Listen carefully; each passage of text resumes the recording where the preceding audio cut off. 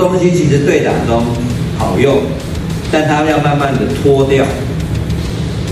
脱掉哦比如说我们常来做的后手直拳这个动作，哦，一开始因为大家身体没办法借太多，没办法借这种力量，所以我要转动这个东西，哦，那这当然是没有问题的。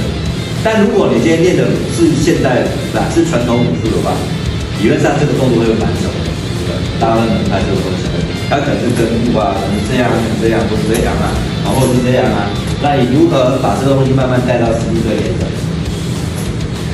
它有一个阶段性，一开始我要的是好打、好对打，然后但是在好对打的状况下，你要慢慢的去调整节奏，变得你平常练东西怎么来练，懂一懂？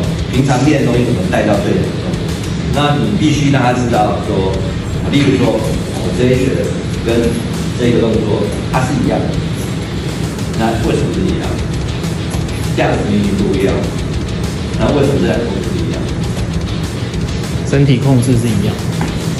懂一懂？那这每个人派不一样，人家讲我们自己系统。嗯，那太纠结在对打这件事情，你的一些门派内的一些手法，导致老师讲会变得大不了。哦，因为它有一些是四方向的控制，哦，前后左右啊，然后斜斜走啊这一类多空间的控制类，那你一个一个练其中是不需要的。但是如果你不去练对练，你你一对一的时间点就找不到，你在多空间上更不知道。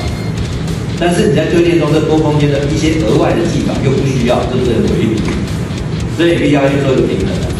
你要知道为什么对练，然后对练中有些东西啊，例如说我今天这样进来，蹲低进来，我会不会靠一下后脑？这类的事情，包括我今天去抓撞不动拉头啊、拉耳朵这类的，不会做。那你如何在那做一个穿插连接？有没有？所以有一个重点就是，对练必须要有一个好的陪练，大家逻辑要差不多。你像我们在对打，我们会去抓头盔嘛，哦，或者是偶尔会拉一下衣服，或者是可能踩一下膝盖，然后手肘头摔了，然后抓后脑，那这在外面冲不行啊。那我们在练也不可能尽全力，那所以你在练的时候，你在自己的，你才有办法去测这种节奏的空间。那对外面的人不会做这些动作，那你就要去抓说你可不可以应付他的拍子啊？